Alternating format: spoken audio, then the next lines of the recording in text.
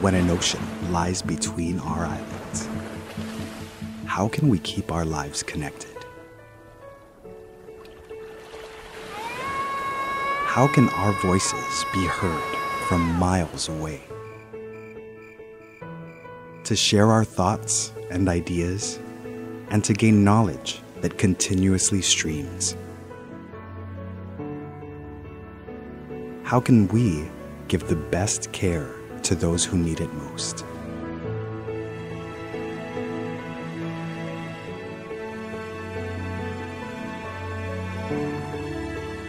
To keep the laughter going and share it with everyone. When an ocean lies between our islands, do we really matter? The answer is within us.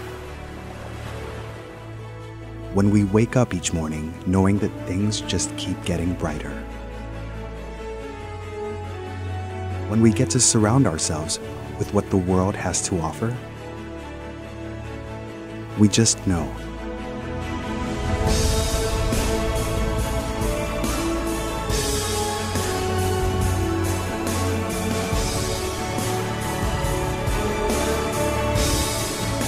That in this community that keeps moving forward,